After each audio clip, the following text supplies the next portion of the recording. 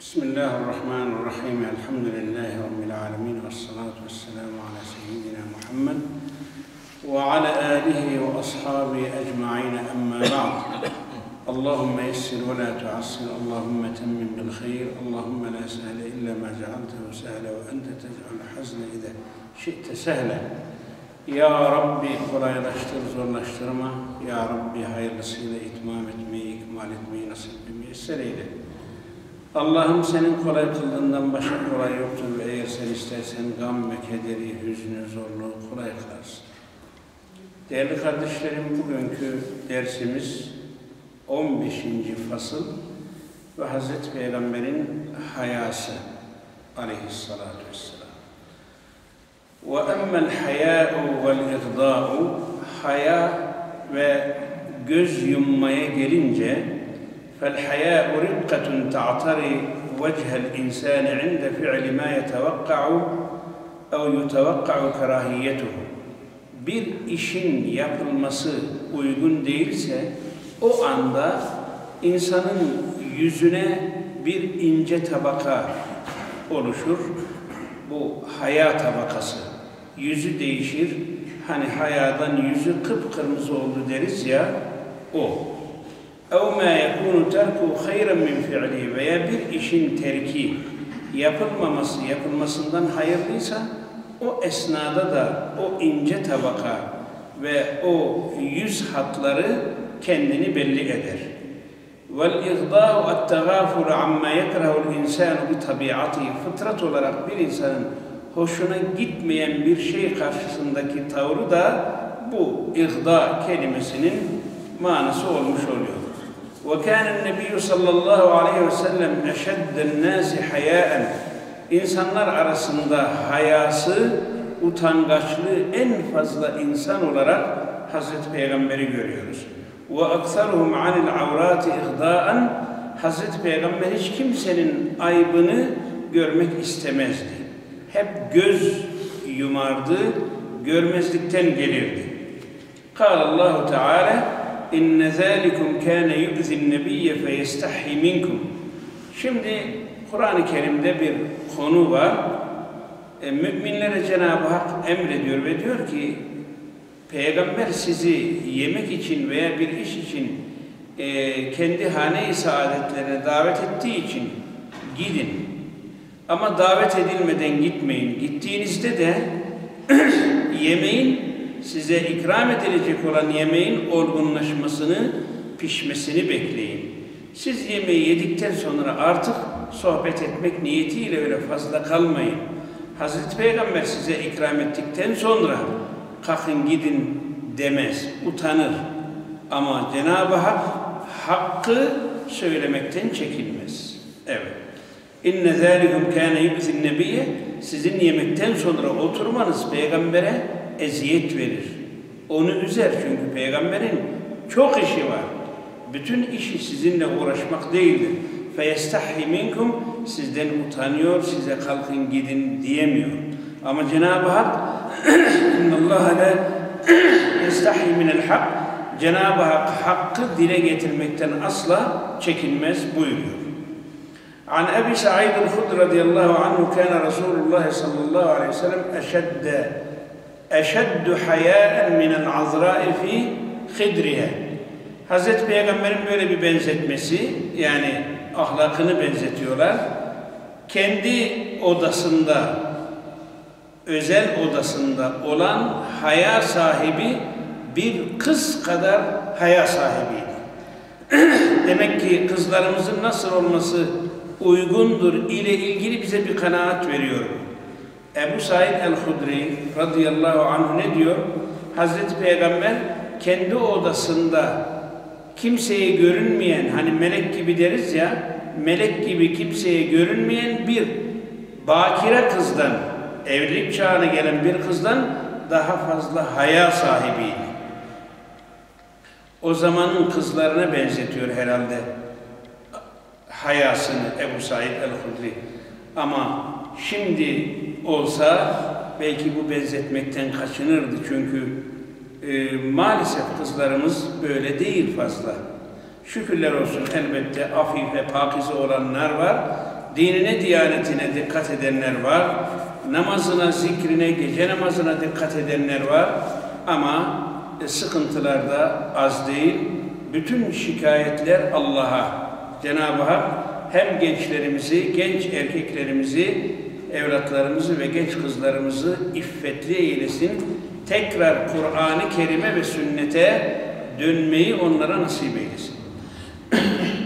وَكَانَ اِذَا كَرِهَ شَيْئًا عَرَفْنَاهُ فِي وَجْهِ Ebu Said el-Hudri Hazretleri devam ediyor ve diyor ki Hazreti Peygamber bir şey hoşuna gitmediği zaman biz onu mübarek yüzünden anlardık zaten. Evet. Hani filanın yüzü kızarmadı veya kızarmıyor denir ya Peygamber öyle değil şüphesiz. Mübarek yüzü kızarıyordu. Mübarek yüzünü bir tabaka kaplıyordu ki hayasından ve kimseye de pek bir şey demiyordu kolay kolay kimseyi üzmemek için. Sen niye şöyle yaptın, niye böyle yapmadın demezdi pek. وَكَانَ عَلَيْهِ الصَّلَاةُ وَالسَّلَامُ لَطِيفَ الْبَشَرَ Başara yüz demektir. Buşra müjde demektir. Başara yüz. Hatta bazı dualarda var. Allahümme harrim şa'arana ve başarana alanna. Ya Rabbi bizim kıllarımızı da, tüylerimizi de, yüzümüzü de ateşe haram kıl diye. Medine-i Münevvere'de bir imam dua ediyordu bir gün. Teheccüd namazında çok e, çarpıcı bir cümle söyledi. Ya Rabbi dedi bize verdiğin bu güzelliği ateşte yakarak çirkinleştirme. Ateşte yanan bu nazik ve güzel vücudu düşünün Allah korusun. Allah cümlemizi ateşten muhafaza eylesin. Gazabından, azabından tabi yanınca ne hale geldiğini artık e, tas tasavvur etmeye, söylemeye gerek yok. Evet. Yüzü kızarıyordu aleyhissalatü vesselam. Bazen Allah rızası için, Allah'ın hesabına gazap ettiği için mübarek yüzü kıpkırmızı kesiliyor. Kendi nefsi için kızdığı pek vaki değildir. Ondan önce de sizlere arz ettim. Mübarek yüzü çok latif idi. Rakika zahiri, çok nazik idi. Zahiri de nazik idi aleyhissalatü vesselam.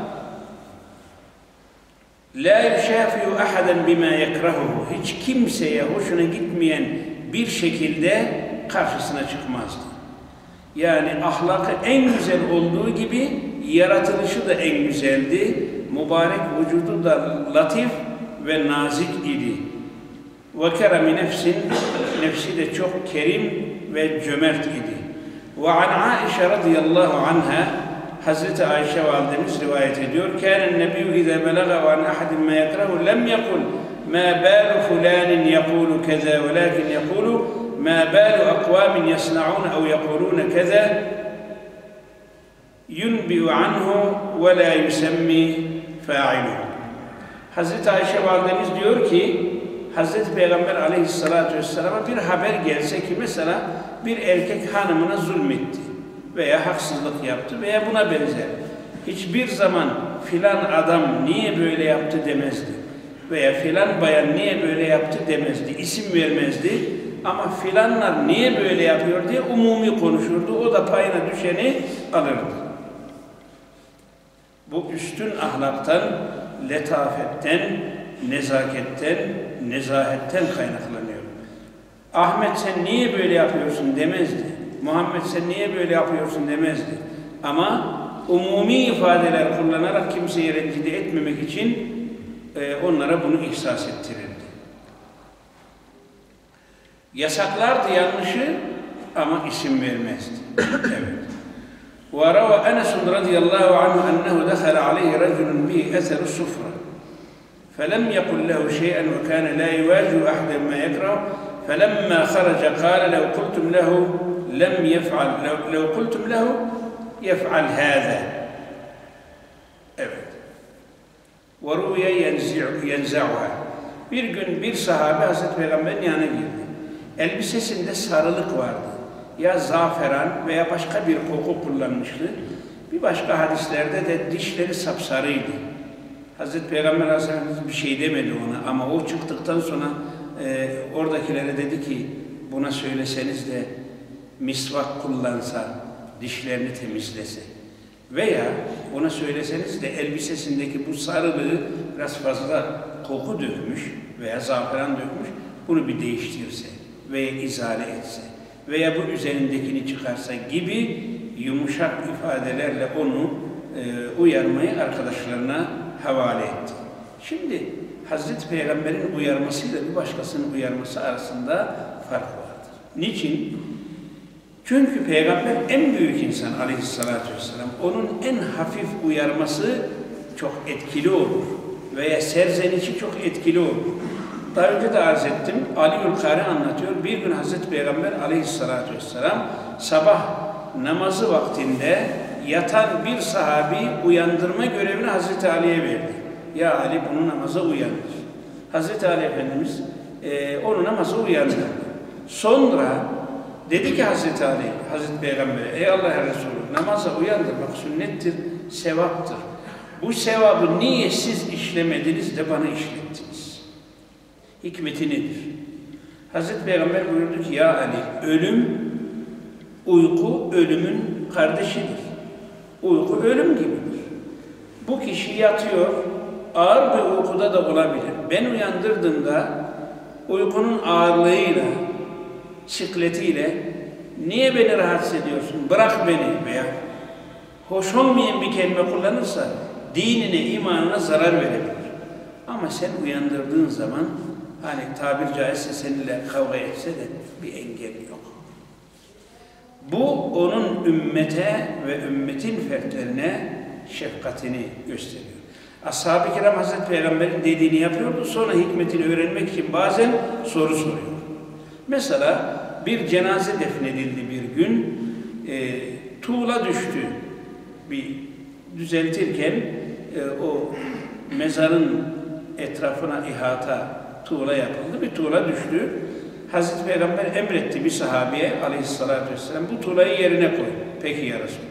Yerine koyduktan sonra belki döndükten sonra Hazreti Peygamber'e sordu.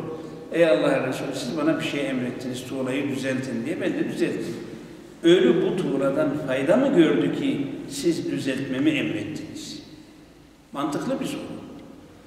Hazreti Peygamber aleyhissalatü vesselam buyurdu ki hayır O tuğladan ölünün faydası yok ama oraya bakan insanların göz zevkini bozmasın istedim. Göz zevki bozulmasın. Madem bir şey yapıyorsunuz, düzgün yapın. Nitekim bir hadisinde buyuruyor ki, اِنَّ اللّٰهَ يُحِبُّ الْعَبْدَ اِذَا عَمِلَ عَمَلًا اَنْ يُتْقِنَهُ Bir kul, bir iş mi yaptı, düzgün mü yaptı? Allah onu sever. Bu iş dünyalıkmış, ahiretlikmiş, ayrım yok. Bir işi düzgün yaptığı zaman Allah onu sever. Bu kadar. Hangi iş? Hangi iş olursa olsun. Düzgün araba kullanıyorsunuz. Allah sizi sever. Düzgünden kastım trafik kurallarına uygun kimseye zarar vermiyorsunuz. Kendi yolunuzda, kendi işinizde hızınız, her şeyiniz mükemmel. Allah sizi sever. Evinize bir duvar çekiyorsunuz, düzgün bir duvar. Cenab-ı Hak sizi sever. İyi bir yemek pişirdiniz. Allah sizi sever. Ne bileyim, çoğaltabilir. Ya bu namaz olursa, ya bu oruç olursa, ya bu ibadet olursa, ya bu bir müminin işine koşmak olursa, hepsi güzel olduğu zaman kurallarına uygun Cenab-ı Hak o kulu sever. Evet.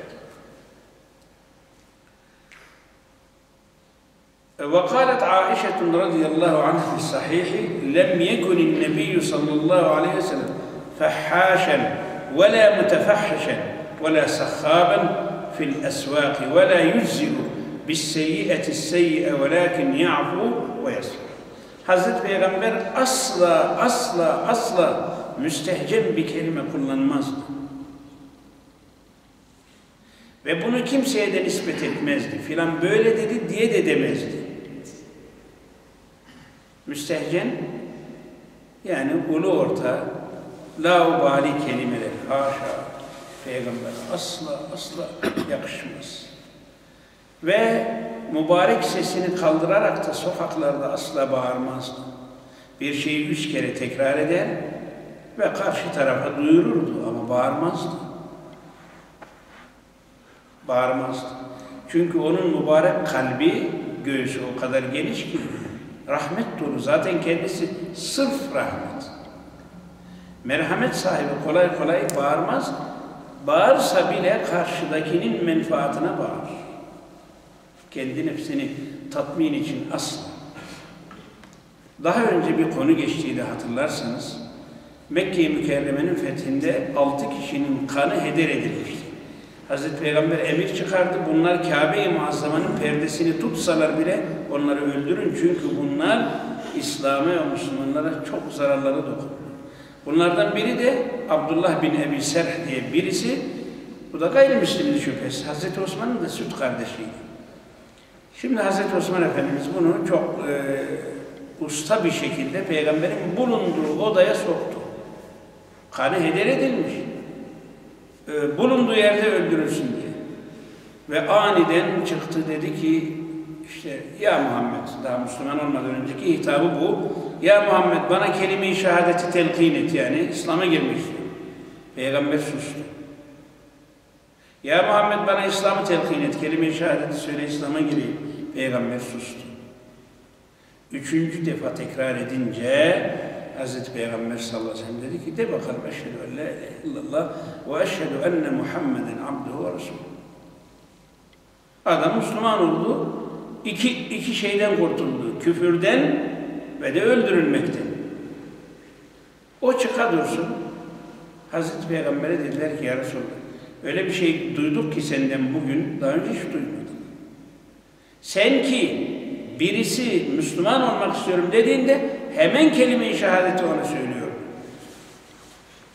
Hatta bir hatip hütbede hütbe okurken minberde bir gayrimüslim girse mesela dese ki ben gayrimüslimim hemen Müslüman olmak istiyorum. İmamın hütbeyi uzatma şansı yok, kesme şansı yok, hemen hüt, e, sürdürme şansı yok. Yanlış söyledim. Sürdürme şansı yok. Hütbeyi kesecek orada ve diyecek ki ona, peki söyle bakalım. Eşhedü en la ilahe illallah ve eşhedü enne Muhammeden Resulullah. Belki tercümesini de söyleyecek. Onu İslam'a soktuktan sonra hütbesine devam edecek. Niye? Çok önemli çünkü. Çok önemli. Zira sen biraz bekle biz hutbeyi bitirelim dediğinde sen biraz daha gayrimüslim kal demek istiyor ki ona razı olmuş demek ki bu da Allah korusun bize hutbe okuyan imamı dinden bile çıkarabilir. O kadar önemli. Önemine binaen bu çarpıcı misali arz ettim. Hazreti Peygamber'e bunu dediklerinde buyurdu ki ben bekledim ki sizden biri kalsın onun kellesini uçursun.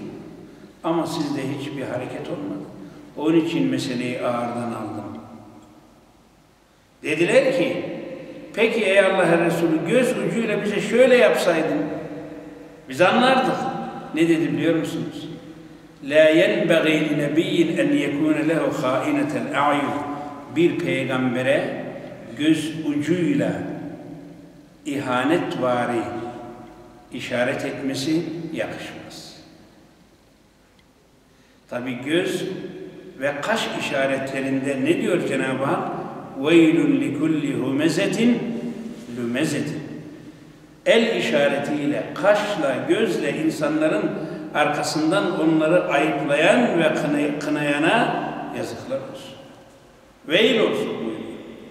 Onun için yani Kur'an-ı Kerim'e baktığınızda en güzel kul diye kimden bahsettiğini merak ederseniz şüphesiz şahsiyetini inşa ettiği Hazreti Peygamber'dir aleyhissalatü vesselam. Evet. Bir kaş işareti bile yapmadı. Bir falsosu bile yoktu ömrü boyunca aşağı yukarı 23 yıllık peygamberleri boyunca, peygamberliği boyunca hiçbir müşrik bile diyemedi ki ya Muhammed şöyle bir yanlış işaret yaptı, adım attı, söz söyledi. Haşa. Niye? Allah'ın koruması altında ve Cebrail arkadaşı olan bir insan elbette öyle olur. وَلَا يُزْيُوا بِالسَّيِّئَةِ السَّيِّئَةَ وَلَكِنْ يَعْفُ وَيَصْفَ Hiçbir zaman kötülüğe kötülükle cevap vermedi. Asla. ne diyor ümmetine? Sana gelmeyene git. Sana vermeyene ver. Sana zulmedeni affet. Hem böyle desin hem de kendisine karşı süvi edepte bulunan birisine daha fazlasıyla veya aynısıyla mukabelede bulunsun. Hayır, bunu asla yapmadı. Ne yapıyordu peki?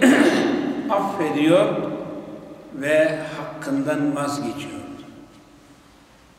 Evet. وقد حكي مثل هذا الكلام عن التوراة من رواية ابن سلام وعبد الله bin Amr bin As Tevrat'ta da Hazreti Peygamber vasıfları tadat edilirken aynı konular geçiyor. وروي عنه أنه كان من حيائه لا يثبت بصره في وجهه. O kadar haya sahibi idi ki mübarek gözlerini dikerek bir insanın yüzüne devamlı bakmazdı. Ashab-ı kiram da böyleydiler. Onlar da Hazreti Peygamber'e teberrük için o mübarek cemaldan e, istifade etmek için bakıyorlar ama Hazreti Peygamber'in onlara baktığını hissedince mübarek gözlerini yere indiriyorlardı. Bakışları bile edeple, haya ile dop doluydu.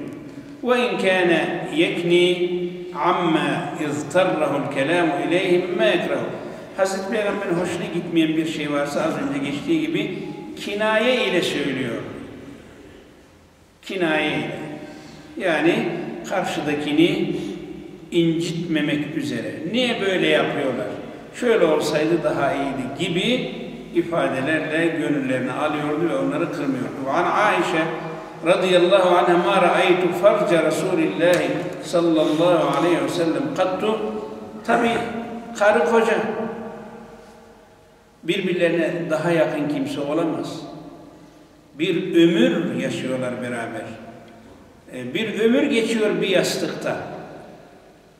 Ama buna rağmen Hazreti Ayşe buyuruyor ki Hazreti Peygamberin sallallahu aleyhi ve sellem'in avret mahallini asla görmedim. Bu da hayanın zirvesi. Belki de yani bir hocaya sorsak, bir fıkıh kitabına baksak belki de bu caizdir. Ama caiz de olsa Hazreti Peygamber'in üstün şahsiyeti ve ahlakı ve hayası mucibince Hazreti Ayşe'den bunu biz duyuyoruz. Adab-ı muaşeret konusunda Hazreti Peygamber aleyhissalatü vesselam Efendimizin e, ile ilgili birkaç söz söyleyelim. Vaktimiz de yavaş yavaş ilerliyor. وَأَمَّا حُسْنُ عُشْرَتِهِ وَأَدَبِهِ وَبَسْطِ خُلُقِهِ مَعَ أَصْنَافِ الْخَلْقِ فَحَيْثُ انْتَشَرَتْ بِهِ الْأَخْبَارُ الصَّحِيحَةِ Bu konuda çok haberler var ve hepsi de sahih. Hazreti Peygamber adab-ı muaşereti nedir? Nasıl davranıyordu hanımlarına, efendim çocuklarına, komşulara, ashaba vesaire bütün insanlara ahlakı nasıl güzeldi? Ve her tabakadan insanlarla sadece e, belli kesimle değil, her tabakadan. Kale Ali radıyallahu anhu fi sıfatihi fi sıfatı vasfi aleyhissalatu vesselam kâne evsa'an nâsi sadran göğsü ve kalbi en geniş insan peygamberimizdi. Ve asdakun nâsi lehceten konuşunca en doğru konuşan oydu. Zaten Kur'an-ı Kerim'de emri bu. Ya eyyühellezine amenü takullaha ve kulu kavlen sedide Ey iman edenler! Allah'a e, Allah'tan çekinin, Allah'ı sevin, Allah'tan korkun. Kulluk bilincinin şuurunda varın. Onu hesaba katın. Takvanın böyle manaları da var. Ve doğru konuşun. Sedit konuşun. Güzel konuşun. Yumuşak konuşun. Adil konuşun. Ne bileyim. Öyle olursa ne olur? يَغْفِرْ لَكُمْ ذُنُوبَكُمْ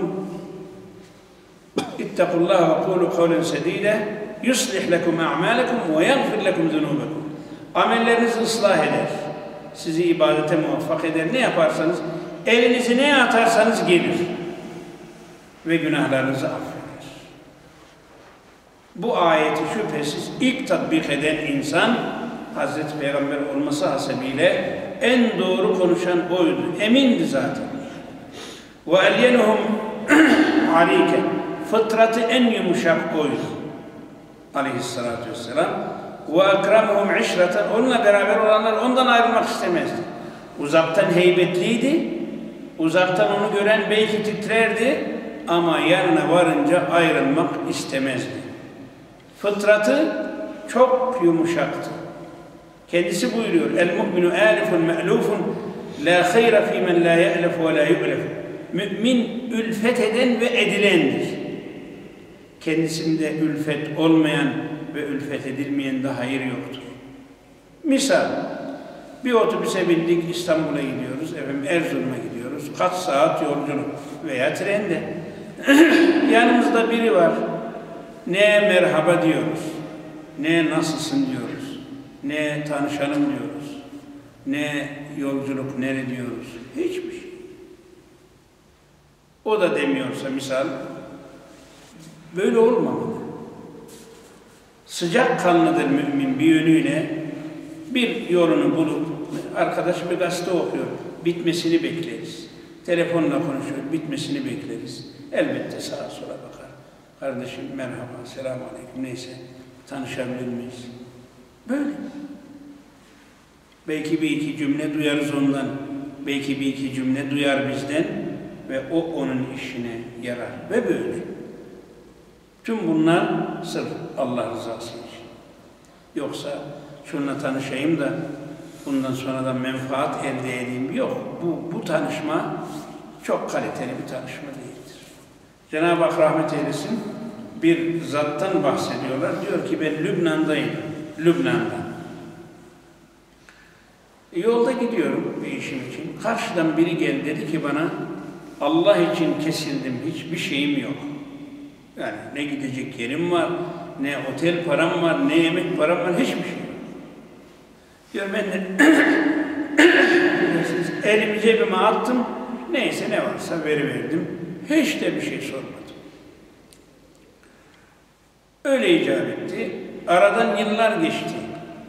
Bizim çok arazimiz vardı dedi. Ölü araziyi diriltme gibi bir konu var İslam'da. Diyelim siz bir arazi var, ne devletin ne kimsenin böyle metruk.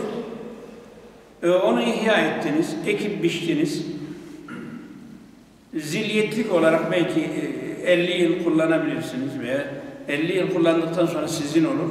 Bunun tabi dinde de e, kayıtları, şartları var. E, belki kanunda da bunun değişik maddeleri var. Diyor hükümet bizim arazimizi alıp dağıtmak istedi. Sosyalizmin bir esintisi bu.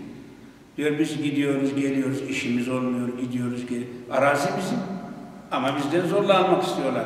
İnsanlara dağıtmak için falan. Bir gün diyor hakimin yanına gittim ben onunla konuşurken bu konuyu bir baktım bir delikanlı girdi yıllar sonra. Bana baktı, baktı, baktı. Sen dedi Lübnan'da bir gün karşılaştığım insan değil misin? Diyor ben onu tanıdım ama dedim ki olabilir. Yo yo sensin dedi sensin.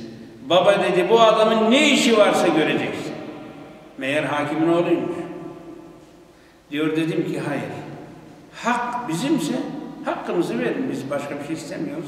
Ve işimiz yürüdü. Şunu diyorum. Siz Allah için bir dost edindiğinizde mutlaka bunun faydasını er veya geç görürsünüz. O an için tanışmadı onunla. Hani olabilir. Onun da bir bildiği var. Cenab-ı Hak karşısına çıkar. Diyeceğim, mümin ülfet eden ve edilendir. Mümkün olduğu kadar sıcakkanlıdır, tanışır. Ee, ve bütün bunları yaparken gaye Allah rızası. Çünkü bazılarımız bazılarımızdan bir cümle duyuyoruz. İnanın hayat boyu işimize yarıyor. Tersi de var. Birisi diyor ki Bid'at ehli birisinden bir cümle duydum. 20 yıldır kulağımdan, zihnimden çıkaramıyorum. Beni çok etkiledi. Bu da var. Duyduğumuz hayırlı bir kelime işimize yaradığı gibi duyduğumuz şer bir kelimeyi misafir etmemek lazım. O insanın zihnini bulandırıyor. Onun için yanlış konuşanlardan, eksik ve fazla konuşanlardan, bid'at konuşanlardan, sünnete sataşanlardan, Hazreti Peygamber'e indirgemeci gözle bakanlardan, dinimizi bize nakleden ashabın, tabiinin, tebe-i tabiinin aleyhinde olanlardan, efendim İmam-ı Azam da kimmiş, o da benim gibi bir adam diyenlerin sohbetinden, meclislerinden imkan dahilinde uzak olmaya çalışalım. Zira o el es-sahibu sahib diyorlar. Arkadaş çekicidir. Hiç farkında olmayız ve yavaş yavaş zihnimiz bulanır ve bu safiyet Allah korusun kaybolabilir. An Kays ibn Sa'd radıyallahu anhu قال زارنا رسول الله صلى الله عليه وسلم وذكر قصة في آخرها فلما أراد الانصراف قرب له قرب له سعد حمارا وطأ عليه بقطيفة فركب رسول الله ثم قال سعد يا قيس اسحب رسول الله diyor ki Kays bin Sa'd bir gün Sa'd bin Ebu Vakkas'ın oğlu Kays bir gün Hazreti Peygamber bize geldi ayrılırken bir merkep e, yanaştırdılar. Üzerinde de bir şey vardı. E, onu ona bir eziyet olmasın diye düzgün binsin ve rahat olsun diye. E, Hazreti Peygamber bindi. E, diyor ki e, oğluna demiş ki Kays hadi peygamberle beraber ol. فقال قيس فقال لي رسول الله اركب فأبيت فقال إما أن تركب وإما أن تنصرف فانصرفت Hadi sen de bin benimle beraber. Yani ben bineceğim, sen yürüyeceksin. Olmaz. Diyor ben yok ya Resulallah ben sen yani seni rahatsız etmeyeyim, bilmeyeyim. Dedi ki bak ya bineceksin ya buradan gideceksin. Ondan sonra diyor ayrıldı. Fakat bir başka rivayette dedi ki bu merkep sizin değil mi? Evet. Sen önüme bin, daha layıksın önde binmeye e, ve onu e, önde binmek için ona teklif etti. وكان رسول الله صلى الله عليه وسلم يؤلفهم ولا ينفرهم ويكرم كريم كل قوم ويوليه عليهم Affedersiniz. Hazreti Peygamber'e bir kavim geldiği zaman mesela onların e, reisleri var. Ona ayrıca ikram ediyor. Onları hep bir saymıyor. Bir yönüyle bir sayıyordu o ayrı. Ama madem diyelim 20 kişinin bir kafile başkanı var, yol emiri var. Ona ayrıca değer veriyordu, ona ikram ediyordu ve onu onlara emir seçiyordu. Kimi emir seçtiği ile ilgili konulara baktığımızda da kimin Kur'an bilgisi fazlaysa Hazreti Peygamber onu emir seçiyordu. Demek ki Cenab-ı Hakk'ın değer verdiğine Hazreti Peygamberimiz de değer veriyor. Ve yuhazziru'n nase ve yehtarisu minhum. İnsanları sakındırıyordu, kendisi de onlardan sakınıyordu. Yani zararlarından emin olmak için. La darara ve la darar. Kimseye zarar vermeyin, kimseden zarar görmeyin. Min gayri en yatbi'an ahadin minhum başara. Ama yüzünü asla kimseye buruşturmazdı ve Hazreti Peygamber en net insandı. Cenab-ı Hak da Hazreti Peygamber de kini, buzu haram kıldılar. Nasıl peygamber kin gütsün ki haşa? Asla. Asla. وَلَا خُلُقَهُ يَتَعَهَدُ أَصْحَابُهُ Hazreti Peygamber arkadaşlarını arardı, sorardı, araştırırdı. Filan niye namazda yok? Hasta mı? Kim rüya gördü diye ashabına da sorardı. Özellikle sabah sorardı. Sizin içinizde rüya gören var mı? diyordu. Bir sahabi rüyasını anlattığı zaman Hazreti Peygamber en güzel bir şekilde o sahabinin lehine o rüyayı tabir ederdi. Oturanların her birine hakkını verirdi. Bir başka yerde çok enteresan bir tespit. Hazreti Peygamber sallallahu aleyhi ve sellem mecliste oturanların sayısına kadar olursa olsun hepsine eşit bakardı. Bunu ancak bir peygamber becerir. Başka kimse beceremez. Şuraya 15 dakika bakar da şuraya ancak 7 dakika bakar. Çünkü insan beşerdir vesaire. Ama Hazreti Peygamber de beşerdi fakat beşer gibi değildi.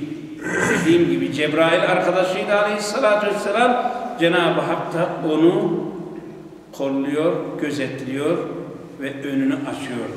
Bir meclisteki insanlara eşit bakmak ne demek? Kim becerebilir? Hangi vaiz, hangi hatip? Kimse bunu yapamaz. Bunu yapacak ancak Hazreti Peygamberdir aleyhissalatü vesselam.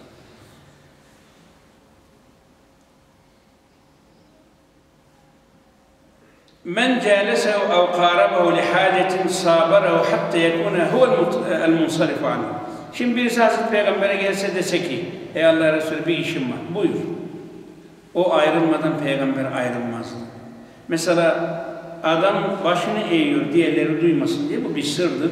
Hazreti Peygamber de mübarek başını eğiyor. O başını kaldırmadan peygamber başını kaldırmıyordu. Veya onunla musafaha ettiği zaman adam elini çekmeden peygamber elini çekmiyordu. Evet. Şu fasılla e, şu bir iki cümleyle bitirelim. وَمَنْ سَأَلَهُ حَاجَةً لَمْ يَرُدَّهُ اِلَّا بِهَا اَوْ بِمَيْسُورٍ مِنَ الْقَوْمِ Herhangi bir insan günün birinde Hazreti Peygamber'den bir şey istese ya ihtiyacını giderir veya imkan ile karşılar. Diyelim 10 istedi 5 verirdi. Yok çünkü. Veya onun adına da borçlanırdı. Siz arkadaşa şunu verin, sonra size vereyim. Hatta Hazreti Ömer Efendimiz Peygamber'e dedi bir gün ya Resulallah, Cenab-ı Hak seni bununla mecbur etmedi, niye yükün altına giriyorsun? Hazreti Ömer'in söylediği Peygamberimizin hoşuna gitmedi. Bilal dedi de, ey Allah Resulü sen ver, ve arşın sahibin seni mutlaka tesdid eder yani senin yerine öder sana daha fazlasını verir dediğinde o zaman Hazreti Peygamber'in hoşuna gitti. Hep verirdi, hep verirdi, hep verirdi. Kâle kattu la illa fi teşehhudihi ve la na'am kattu illa ca'atin ni'am. Hazreti Peygamber ne zaman la dedi? La ne demek? Yok, hayır. Kelime-i tevhidde la diyor kelime-i şehadette eşhedü en la ilahe illallah derken bunun dışında hiçbir zaman kimse yok, bende yok. Git başkasından iste. Niye geldin? Niye bir daha istedin? Yok öyle bir şey. La'yı e, o manada ancak kelime-i şehadette kullanıyordu. وَقَدْ وَسَّعَ وَسِعَ النَّاسَ بَسْتَهُ وَخُلُقُهُ Onun mübarek ahlakı ve genişliği bütün insanlara yetiyordu. Herkesin onda yeri vardı. Onun yanında yeri vardı. Kimin ne derdi varsa çözümü Hazreti Peygamber'in mübarek meclisiydi ve onun mübarek cemalini ve güzelliğini gören bedevi medeni oluyordu. O vahyin bereketi, o nispet, o himmet, o yüksek yüksek performans tabiri caizse herkese yetiyordu. Evet. Allah Celle Celaluhu cümlemize o mübarek cemali ahirette nasip eylesin inşallah. O bizden razı, biz ondan razı. Fasara lehum eben. Hazreti Peygamber insanlara adeta bir baba gibiydi. Gerçi mekâne Muhammedun ebe ehadin Muhammed kimsenin babası değildir ayeti ayrı bir konu o. Ama şefkat ve merhamet olarak insanların babası gibi onları e, koruyup kolluyordu. وَصَارُ عِنْدَهُ fil الْحَقِّ سَوَى Hak konusunda peygamberin yanında insanlar eşitti. Asla, asla adaletsizlik zerresi bile onda olamazdı. Ve kâne daimel başar daima mütebessimdi. Sehlel huluk ahlakı çok kolaydı. Leyyinül canib yumuşaktı. Leyse bi faddin ve la galiz. Asla kaba değildi. Asla haşin değildi. Ve la sahhabin ve la fahar. Sokaklarda bağırıp çağırmazdı. Asla müstehcen bir hareket veya müstehcen bir cümle kullandığı vakı değil, ve la kimseyi ayıplamaz. Kınamaz kimsenin aybını yüzüne söylemez. Umumi ifadelerle insanları ve ümmetini uyarmaya çalışır. Ve la kimseyi de lüzumsuz övmezdi. Bu da çok önemli. Çünkü bir insan bir insanı lüzumsuz överse lüzumsuz yerer de yapmaz. Övülmeyi hak ettiyse yapar. Mesela birisine demiştir ki anam babam sana feda olsun. Misal. Bana arkadaşımı bırakın. Hazreti Öbekir için. Herkes beni yalanlarken o beni tasdik etti. Bu doğrular ayrı. Ama öyle ucuz methedeceğim falan senin gibi yok yok yok. Yok öyle şey. Bizim de aslında yapmamız gereken budur. Efendim sizin gibi dünyaya kimse gelmez. Anneler sizin gibi kimse doğurmaz. Başınız gökte, ayaklarınız yerde. Ne gerek var bunlara? Filan nasıl? İyi biliyor. Bu kadar. Çünkü övmede de sınır var ve e, hudut var. Kimseyi çok methetmezdi. Meddah çok metheden. Madih az metheden. Normal metheden. Belki onu da yapmazdı. Aa, bir yer bir kişi hak etti mi tamam. Ama hak etmediği zaman asla olmaz Bitiriyorum. يَتَغَافَلُ عَمَّا لَا يَشْتَهِ Medih konusuna inşallah sağ kalırsak nasıl olursa ileride biraz daha değinmekte fayda var. Çünkü bir hadis daha var. Mümin methedildiğinde iman yüzünde yeşerir, canlanır. Kendini bilen bir mümini siz methettiğiniz zaman o sizin kadir şinaslığınızı anlıyor. Ha bunlar demek ki şükür bir şeyler biliyorlar. Yoksa kendisine mal edeceği için değil. O, o değil. İki rivayet var. Methedenlerin yüzüne toprak, toprak serpin. Ne demek? Çok metheden bunu meslek edinin. Ama bir iki defa haklı olarak sizi methetti, müminsiniz. İnanıyor ki ben arkadaşı kardeşimi methettiğim zaman asla yanlış anlamaz ve iman onun yüzünde görünür, belirir. Niye? Der ki demek ki toplumda hakkı ihkak edenler, kadir şinaslar var, şükür diye Allah'a şükreder ve o daha iyi bir Müslüman olmaya doğru adım atar. demek ki bunun kaideleri, kuralları var. Evet. يَدَغَافَلُ عَمَّ لَا يَشْتَهِ Hazreti Peygamber beğenmediği bir şeyi görmezlikten gelir. Yani mesela bir yemek. Yemiyor ama hiçbir zaman niye bunu yaptınız? Ben bunu yemiyorum. Kaldırın, sevmiyorum. Asla. Ya yemezdi, susardı. Yemezdi. Bu kadar. Evet. وَلَا يُؤَسُ مِنْهُ Eğer doğru anlamışsan bu mübarek cümleyi hiç kimse Peygamberimizin yanında umutsuz olmazdı. Umut kaynağıydı. Neşe kaynağıydı. iman kaynağıydı. Moral kaynağıydı. Yani kimin ne derdi varsa Hazreti Peygamberle buluştuğunda derdi ya sıfırlanırdı veya azalırdı veya sonra azalırdı, yok olurdu. Niye? Kardeşim Kur'an'ın muhatabı. Allah'ın en sevgili kulu. Meleklerin tabir caizse arkadaşı. Rahmet olan bir peygamberin yanına varınca insan elbette vardığı gibi dönmez. Az önce arz ettim.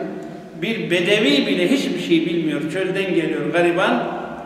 İnan peygamberi gördükten sonra başkalaşıyordu. Konuşması da, davranışları da, hal ve hareketleri değişiyor. Peki bu, bu yönden bize ne var? Biz de Hazreti Peygamberimizin sünnetini, hadislerini okuduğumuzda, dinlediğimizde, e, yaşamaya çalıştığımızda bizde de bir değişiklik olsun inşallah. Cenab-ı Hak cümlemizi hayra doğru, iyiliğe doğru değiştirsin. Efendim zatına doğru, e, rızasına doğru pervaz açan, uçan kullarından eylesin bu manada inşallah. Amin. Subhanakallahumma ve bihamdik. Eşhedü en la ilahe illa ent. Estağfiruke ve etubu ileyk. Lillahi Teala'l-Fatiha.